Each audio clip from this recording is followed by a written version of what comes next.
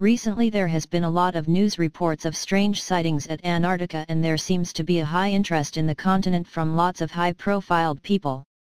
Pyramids have been spotted on Google Earth, pictures of UFO above the ice have emerged. It seems that strange things are happening at Antarctica at an increasing pace. Maybe if we dive into history we'll find an explanation for recent events.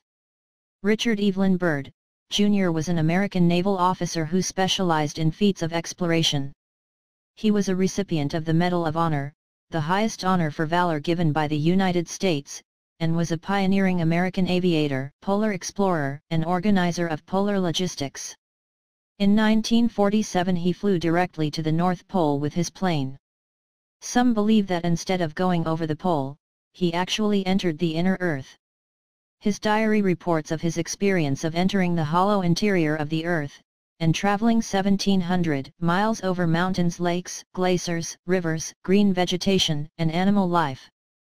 Admiral Byrd stated that the North and South Poles were actually only two of many openings to the center of Earth.